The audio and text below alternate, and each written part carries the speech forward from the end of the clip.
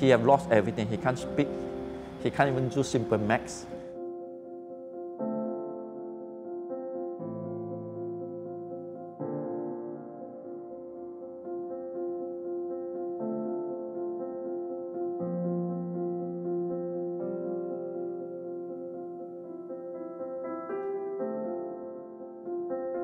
He had an accident in uh, 2005, 2nd January.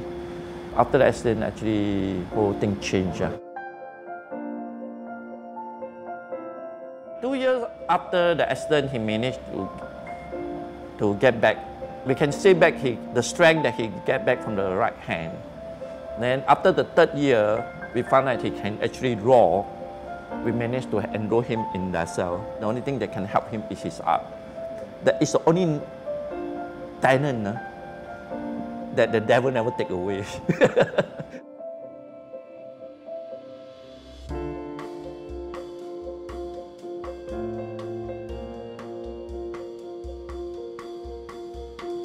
Mommy, it's like only me and Papa only. Only Papa. But mommy, mommy is far, further, further away. But I, I love my mom a lot. I love my mom. she's, she's, to him, it's just, it's just a family. lah.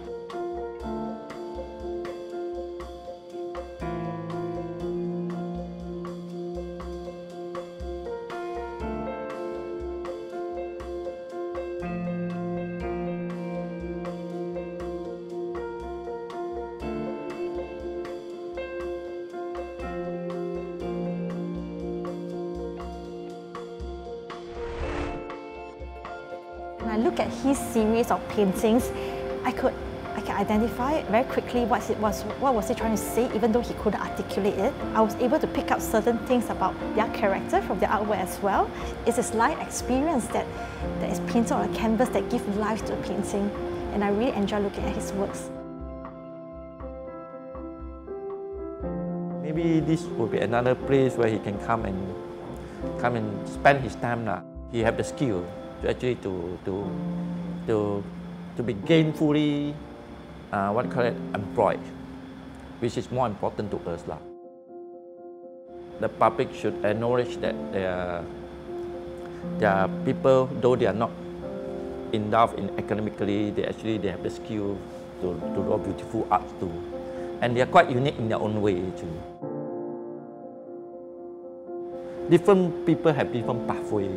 Your path is this one, which is also not that bad.